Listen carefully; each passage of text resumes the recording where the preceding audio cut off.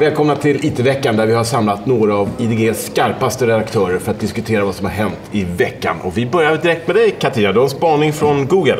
Ja, precis. De har ju lanserat eh, Project Nova där eh, de pressar mo mobiloperatörer. Hur då? Vad, vad gör de för eh, De tycker att mobiloperatörerna är långsamma och dåliga på att erbjuda bra tjänster. Så att med början i USA så eh, kommer de erbjuda mobilnät helt enkelt. Och vad ska de göra som är bättre då än De ska bland annat göra bättre koppling mellan trådlöst nät och eh, mobilnät. Okay. Eh, Men hur ska Google kunna investera i ett i ett eget fysiskt? Nej, det ska mobilnät? de inte Nej. till en början. De ska hyra in sig hos andra okay. mm. i tanken. Men, Så det men de en har virtuell vissa... operatör? Exakt, en virtuell mm. operatör. Men kan de göra något vettigt av det då? Det finns massor med virtuella jo, operatörer. Men det, det är intressant för att de har ju, de satsar på Google Fiber tänkte jag på när jag såg mm. det här. Och det är någonting som eh, handlar, det, alltså det, det är en tveksamt fungerande konkurrens när det gäller bredband i USA verkar det som. Eh, det är min bild av det i varje fall. Mm. Och eh, läser man på nätforum, eh, amerikanska upplevelser så är ju Google Fiber är ju frälsningen ser folk det mm. som. Nu kommer Google Fiber till mitt kvarter, folk jublar, postar bilder på Google Fiber-bilen, lägger upp på Facebook och får massa likes.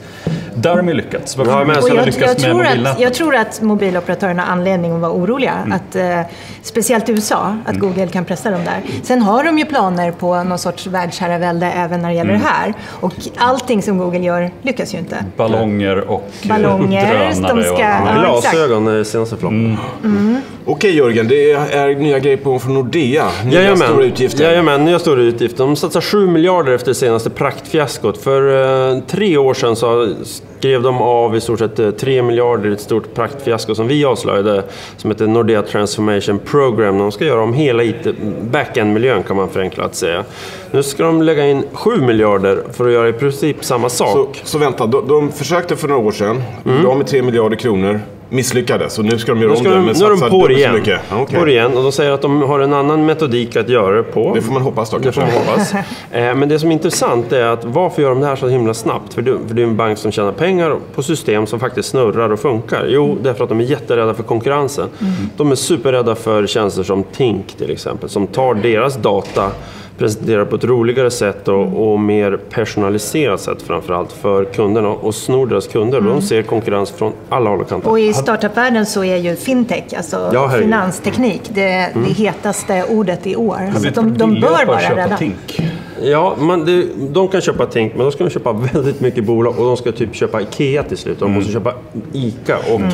andra men, men hur kan detaljer. det kosta 7 miljarder kronor? Det fattar inte jag riktigt. Mm. Jo, men det här är enorma IT-system som har byggts under många, många år. Otroligt komplexa. Och du vet, en IT-avdelning, SEBs IT-avdelning tror jag för något år sedan var tusen pers. Det här är som enorma företag i företagen. Och men det är väldigt det, komplexa miljöer. Finns det några tankar om att framtida besparingar på det här? Kan de spara in det eller bara ja, för... Alltså, liksom? tanken med det här projektet, pengar, om det lyckas eller inte, det står ju skrivet i stjärnorna. Det är att väl, förenkla väldigt mycket innan man gör mm. ett byte av de här grundsystemen. Kommer kunderna märka något av det här då? Ja, det de, tror De får betala? De får betala, det är en sak. Sen kan de märka att det blir en stor flopp. Eller så märker de att de kan få så personaliserade tjänster som vi alla är vana vid, men som bankerna inte har en möjlighet att mm. leverera idag. Mm. Jag har ju Skandiabanken själv och jag är lite mm. förvånad för de ska också göra en systemuppdatering när de stänger internetbanken från 13 till 16 mars. Ja. Det är galet. Mm. Det är helt galet, galet, men då förstår man också hur en relativt ung bank som Skandiabanken, hur komplicerat det är bara att byta deras mm. grundläggande IT-system. Hur komplicerat är det då inte då för Nordea? Men det kanske inte kostar 7 miljarder annars? Nej, det är kanske, kanske bara 6. Joel, mm. din spaning då? Är det något nytt från Apple-världen? Nej, det är Samsung du ska prata om den här gången. Ja, Samsung och Ikea. Mm. det är intressant. Trådlös laddning har ju funnits länge. Jag laddade en tandborste, ställde den på laddning i morse. Men, eh, induktionsladdning. Men nu kommer Ikea kommer satsa på möbler. Det kommer vara skrivbord, det kommer vara lampor, sängbord, eh, soffbord och så vidare. Eh, samtidigt som det var gemensamt med Samsung som har tekniken inbyggd i sin nästa Galaxy S6-telefon. Och jag gillar verkligen den här tekniken. För Tänk dig att du har skrivbordet, soffbordet, sängbordet, eh, överallt. Allt är en laddningsplatta. Så fort du lägger av dig telefonen så laddas den. Barbordet, restaurangbordet, you name it i framtiden. Men för oss människor som inte alltid är vid sängen eller skrivbordet? Då, jo, men det menar, du, du, förr eller senare så kommer du sätta dig någonstans. Mm. Liksom, en, en vanlig dag. Det är klart att om du är på mm. camping. Då men det var vid barbordet också. Så ja, ja, ja, så det funkar för dig också. Yes. Mm. Men det här med, med laddplattor är ju ingenting nytt. Det är, det är ingenting nytt. Men, men när det kommer gammal. på det här sättet så skulle du kunna lösa problemet med batteri tiden. Men ehm, bara så jag förstår rätt.